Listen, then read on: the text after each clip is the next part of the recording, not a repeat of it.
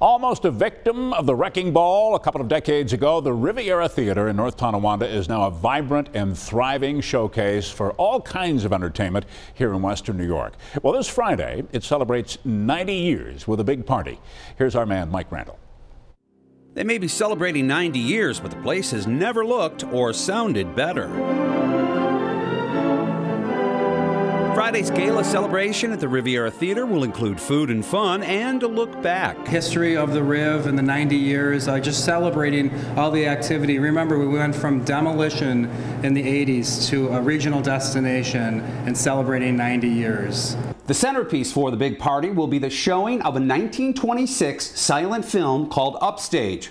That's the same movie that played here 90 years ago, opening night. It stars Norma Shearer as a small town girl with her eye on a showbiz career.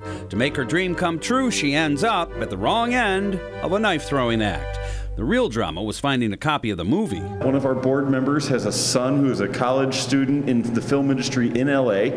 He reached out to some colleagues through Toronto and to England, and we were finally able to get a print sent to us from England. This movie has it all romance, action, wild weather, kids, and a dog.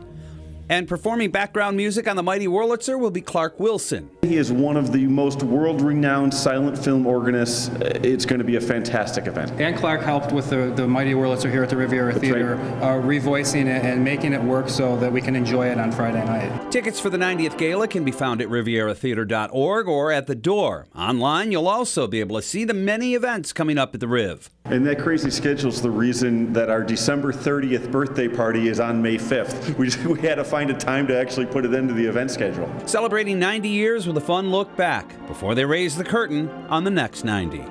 In North Tonawanda, Mike Randall, 7 Eyewitness News.